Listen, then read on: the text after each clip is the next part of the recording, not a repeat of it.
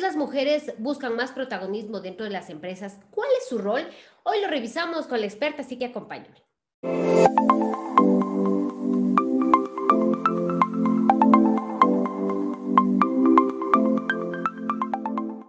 Emprendedores en el mundo digital 672. Hola, hola, ¿qué tal? Nuevamente bienvenidos al podcast, al programa de emprendedores en el mundo digital, el podcast en el que hablamos sobre el mundo del emprendimiento, ese apasionante marketing, las imprescindibles ventas para emprender y claro, todo lo que necesitamos los profesionales, los emprendedores, los, las pymes, las empresas para poner a punto nuestros negocios y pues ofrecer con nuestro portafolio de servicios, con nuestra propuesta de valor a un nicho de mercado y pues hacerlos felices y nosotros también vivir felices de lo que nos apasiona. Ya saben, de esto se trata, este video podcast que sacamos todos los días con eh, contenido de calidad y sobre todo con entrevistas como lo que vamos a tener el día de hoy espectaculares con personas de alta trayectoria que nos van a aportar siempre conocimientos para pues eh, que podamos aplicarlos, ¿no? Y de hecho hoy quiero dedicar el podcast a todas aquellas mujeres empresarias, aquellas mujeres que se han abierto paso y que pues lideran, son CEOs, son em, dirigentes de sus empresas y se han abierto paso en el mundo empresarial. Sí o sí que todavía enfrentamos, digamos que un tema de... Eh, de limitación por el género, ¿no? Pero aún así estamos ahí. De hecho, por eso, eh, dada esta invitación, porque hoy vamos a hablar cuál es el rol de la mujer a nivel de la empresa. Y pero antes de entrar en esta maravillosa entrevista, pues quiero invitarles a que visiten, ya saben ustedes, cateman.com. Si tienen dudas sobre implementar su estrategia digital, pues nada, contáctenos dentro de cateman.com slash contactar, lo pueden hacer. O aquellas personas que quieren aprender de manera autómata, tenemos también la academia, así que échenle un vistazo que está estupendo. Y ahora sí vamos con la entrevista del día de hoy. Tengo el placer de contar con la compañía de Courtney McGolgan. ¿Cómo estás, mi querida Courtney? Muchísimas gracias por estar aquí en el podcast. No, muchas gracias por la invitación. Estoy muy emocionada de estar acá con ustedes. Más bien nosotros también por tenerte una persona de tanta trayectoria que, ha crecido, que es CEO de su empresa. Yo creo que con toda la trayectoria que tú has venido, eres la indicada para comentarnos un poco justamente este tema que queremos aportar el día de hoy, que es el rol de las, de las mujeres dentro de las empresas. Pero antes de entrar en materia, por favor, mi querida Corny, coméntanos este, quién eres y a qué te dedicas, para aquellos que de pronto no te conozcan todavía. Sí, claro. Em, bueno, primero mi nombre es Courtney McColgan, soy la fundadora y CEO de una empresa que se llama Runa, que es un software organizando la, nómina para América Latina. En 15 minutos, cuatro clics, puedes hacer tu nómina sin importar el tamaño de tu empresa. un poco sobre mí, eh, soy de Estados Unidos originalmente, me mudé a América Latina en 2014 toda mi vida he trabajado en emprendimiento, lanzando mi primera empresa a 22 años, segundo a 28 años. Y eh, últimamente soy mamá de tres este, chiquitos, este, tres menos de tres, entonces estoy full todos los días entre trabajo y, ah, tareas de la casa. Claro, y ese es el reto, ¿no? Que hoy por hoy también tenemos, y aparte de que por el COVID mucha gente ya se ah, maneja sus trabajos a nivel online, tenemos que lidiar con estas cosas de el ser madres, el tener a nuestros hijos, el estar en el cuidado de la familia y no descuidar las obligaciones y las tareas como empresarias, como SEOs. Mi querida muchísimas gracias, Courtney, por comentarnos tu trayectoria. En realidad, este, estaba revisando un poco todo lo valioso que has hecho y pues claro, efectivamente este software maravilloso que tú has creado para apoyar a las pymes en la gestión de la nómina es, es, eficiente, es práctico y bueno, espero de todo corazón que tengas todas las expectativas de crecimiento a nivel de Latinoamérica. En todo caso, vamos a entrar en materia. Eh, en base a tu experiencia, ¿no es cierto? Eh, sí que sí, la, mujer, como habíamos hecho un, un, pequeño análisis antes, tiene que enfrentar muchas aristas al mismo tiempo, ¿no? Dentro del ámbito empresarial, a tu criterio, ¿Cuáles son esas, esas habilidades, esos skills, digamos, esas habilidades blandas que una mujer debe eh, tener justamente para entrar y este, ser competitiva en el ámbito empresarial? Sí, justo es súper interesante. En México, en los últimos 10 años, este, mujeres han logrado de tener lo mismo número de personas graduando de las universidades que los hombres, ¿no? Hace 10, 15 años no era así. Entonces, este, de nivel de educación, nosotros estamos en lo mismo nivel. El problema ahí es que 80% no están consiguiendo trabajo.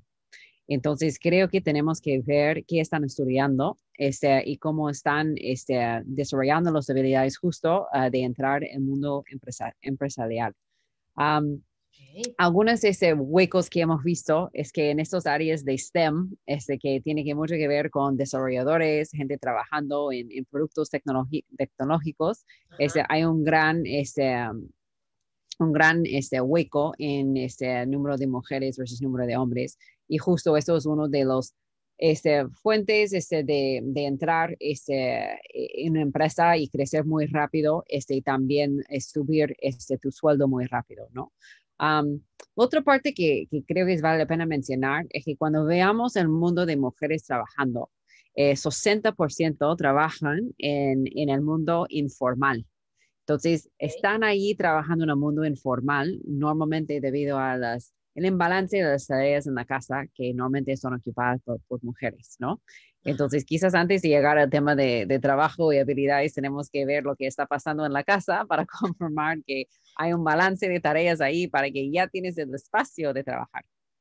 Ok, bueno, qué interesante, ¿no? Lo que tú has mencionado, que de alguna manera, eh, digamos que el equilibrio en conocimiento tecnológico incluso se, eh, se, ha equiparado, pero ¿qué está pasando internamente, ¿no? ¿Qué actividades tiene que afrontar la mujer aparte?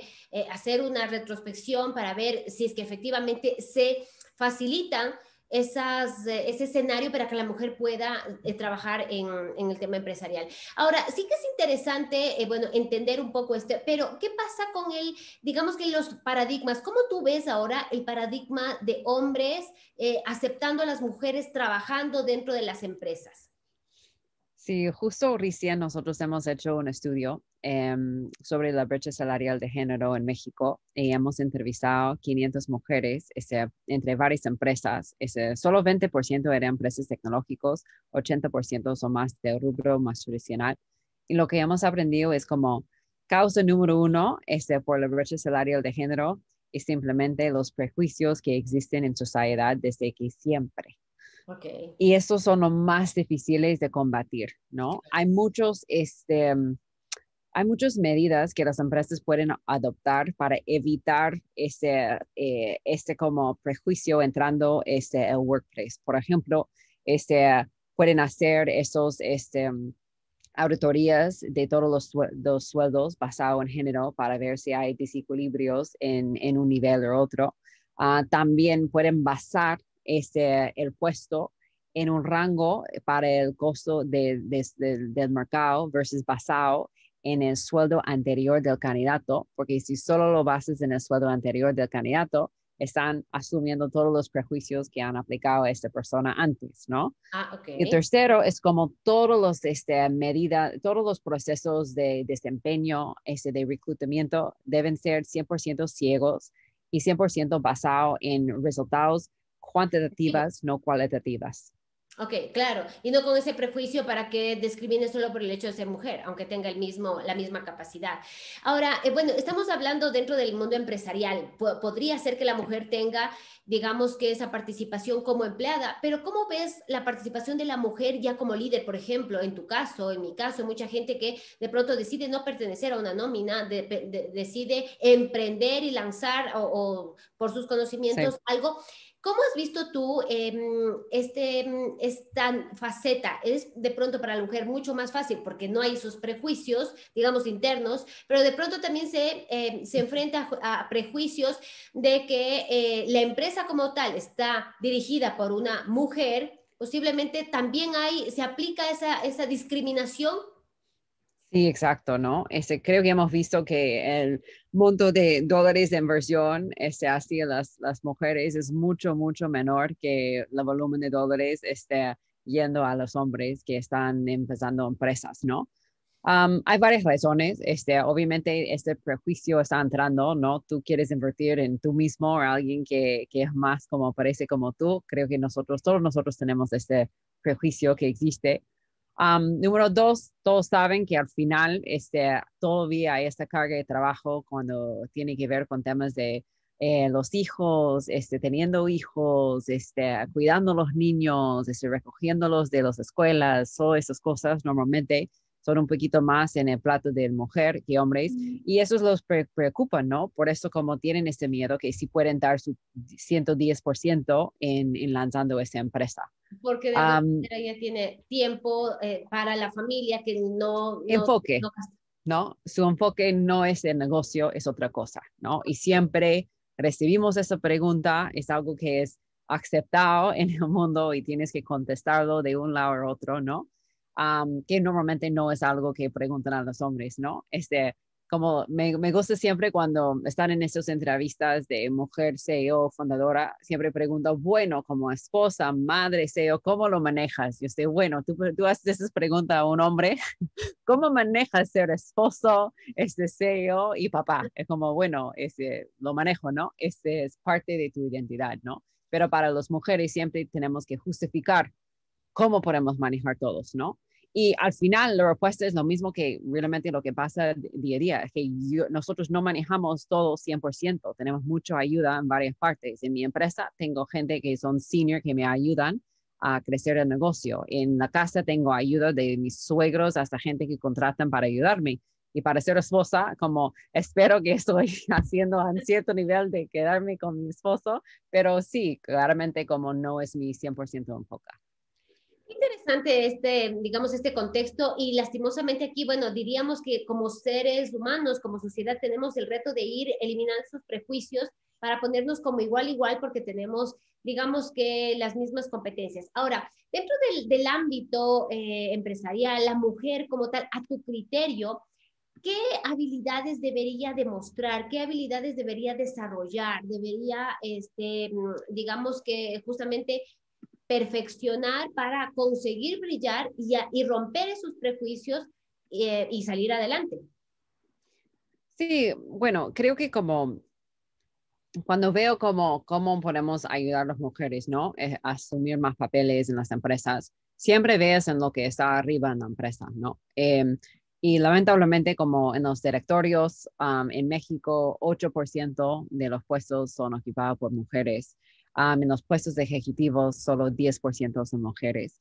Entonces, siempre mi enfoque es cómo podemos ese, subir el número de mujeres en la, gerencia de las empresas, los que están dirigiendo la dirección.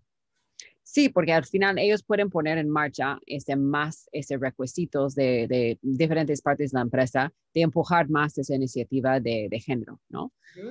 y ahí es como tiene que ver con experiencia. No puedes poner una persona que es super senior, este, que no es super senior en un puesto muy senior, ¿no? Y, y, cómo logras esta experiencia. Y es, al final ese, empiezas como temprano trabajando y poco a poco mejorando ese, tu desempeño en tus puestos ese no saltando de una empresa a otra, ese, la importancia es de tener como trabajos fijos de dos, cuatro años en un lugar, ese, con cifras de lo que tú has hecho, ¿no? Ese, cuando yo entré a esa empresa, yo he crecido usuarios de X a Y, ¿no? Um, o yo he eh, mejorado las cifras de X a Y, muy basado en cifras de tu impacto. Y eso es también lo que puedes usar para, para saltar de una empresa a otra.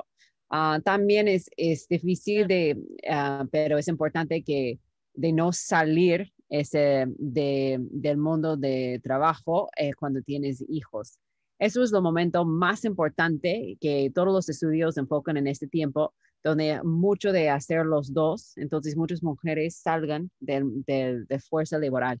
Y después de salir es muy difícil de regresar y recuperar el estatus que tenía y el sueldo que tenía y siempre vas a estar más atrás de los hombres que tienen la misma edad este, que tú. Qué interesante esto último que nos comentas y en realidad pasa, ¿no? Que la mayoría de las personas, bueno, o una buena parte las mujeres deciden salir justamente porque o no tienen con quién cuidarles, es, es realmente complicado. ¿Cómo tú podrías decir, de hecho es, digamos que es el reto de las mujeres, ¿no? Si alguien pues ya decide formar familia y tener hijos, eh, hay veces que las mujeres, por más que nos digan, no tenemos planificado, previsto la dimensión que implica ya ser madres y toda la revolución que viene con ello, ¿no? Creo que nadie está preparado a pesar de que te digan, ¿no? En base a tu experiencia, ¿qué se debería hacer antes? ¿Cómo se debería preparar para evitar salir del mundo laboral y no descuidar también a, tu familia que de alguna manera somos como los, la, eh, las, eh, digamos que las responsables de que esas vidas al inicio, esos años donde más dependen de la madre, pues también no descuidemos estos dos grandes frentes, ¿no? ¿Cómo podríamos hacer? Creo que primero es, lo más importante es de ser honesto con tú misma de lo que quieres, ¿no? No todas las mujeres quieren trabajar, genial, si quieres quedarse en casa, quédate en casa, ¿no? Yo siempre decidí, uno era como, no quiero, no puedo, no puedo quedarme en casa, es como simplemente quien soy, ¿no? Y ser, tener esta honestidad y esta conversación con la persona con quien vas a casar. Que eso es probablemente, realmente cuando hablas de tu este, carrera eh, laboral, la decisión más importante es con quién vas a, con quién vas a, a, casar. Porque si tú estás en esta dirección y tu esposo está en otra dirección, eventualmente vas a tener un choque y vas a necesitar renunciar o divorciar. ¿no? y entonces no necesitas esperar hasta ese momento de tener esta conversación. Antes de casarse, tienes que tener esta conversación. ¿Quieres tener hijos? Sí o no. ¿Cómo va a ser? ¿No? Vamos a contratar gente, vamos a vivir con nuestras familias. ¿Cómo sería para que yo pueda seguir trabajando? Porque yo voy feliz de dar, dedicar mis nueve meses de llevar el bebé, pero a partir de ahí, ¿qué va a pasar? ¿No? Entonces, Sí, y creo que esas conversaciones no pasan mucho, ¿no? La gente piensa todo bonito, ¿no? Este, veamos dónde vamos. No, este, tienes que este, tener esta conversación. Y esto es como literal el factor número uno que afecta más que cualquier cosa.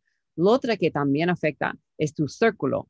¿Qué está pasando con todos los amigos tuyas y también los amigos de tu esposo? Porque si veas que todos tus amigos tienen este, esposas que se quedan en casa y no trabajan, eh, cuando él levanta el tema con sus amigos, ¿qué van a decir? ¿No? Y tú también vas a sentir que estás haciendo algo mal porque no, es parte de la normal.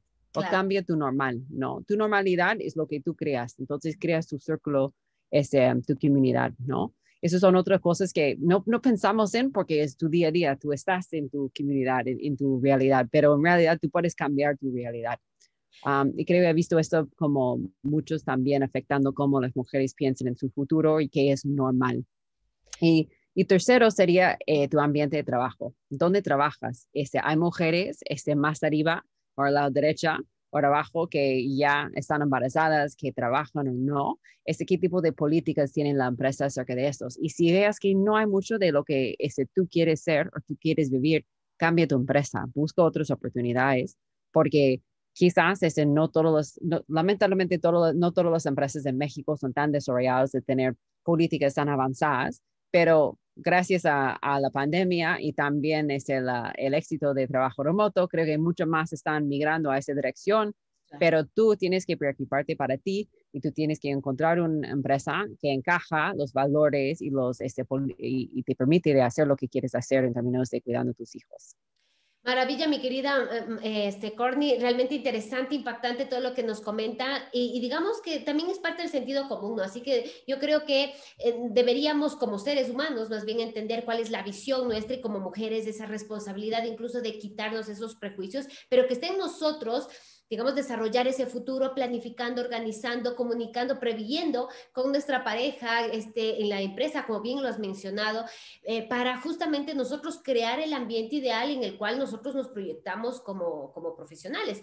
Así que realmente muy interesante. Mi querida Corny, estamos casi por terminar. Nuevamente agradecerte por tus valiosos comentarios, por tu tiempo acá. Eh, no sé si tienes palabras finales para todas aquellas mujeres que nos escuchan desde los Estados Unidos y muchos eh, países de América Latina. Sí, siempre mi consejo es lo mismo, este, contrata mujeres, contrata mujeres, contrata mujeres. Es lo más que podemos hacer de, impactar este tema de género en el workplace. Y con eso nos quedamos en, en, apoyarnos en nosotros, en quitarnos de pronto las, los prejuicios que a veces desde la propia mujer somos, digamos que machistas y eliminamos eh, este, este enfoque de no apoyarnos entre ellas. Y pues bueno, mi querida Courtney, nuevamente mil gracias por, por tus comentarios, por tu tiempo, por tus valiosas sugerencias y gracias también a la audiencia por escuchar el podcast en las diferentes plataformas, en Spotify, en Google Podcast, en iBox, en iTunes. En el formato de video, ya saben, si, si, si creen que a alguna mujer le va a servir escuchar esto, pues compártanlo, es gratuito y pues difundan la palabra. Y bueno, nos vemos y nos escuchamos el día de mañana con otro episodio en el video podcast de Emprendedores emprendedores en el mundo digital. Se les quiere mucho, un fuerte abrazo, nos vemos. Gracias mi querida Corny y gracias a todos.